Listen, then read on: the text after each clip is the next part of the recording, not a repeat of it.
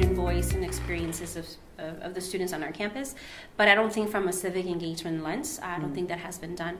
And so I think that the work and the findings that we'll, we'll gather and we'll present, um, like Lydia mentioned, it's going to you know make recommendations for faculty and staff here on our campus.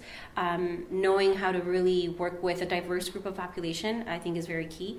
Um, i feel like some faculty you know also come from other different backgrounds right? And so um, being sensitive and having some empathy of learning how to work and teach other ethnic groups on campus is very important.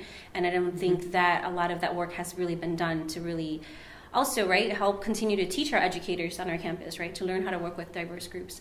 Um, so i think our work is going to be very interesting um, in what we find right the response of our students. I think for the first time in a few maybe years i want to say um, students are finally having that voice of saying yeah this is how i feel right and this is how i don't belong or do belong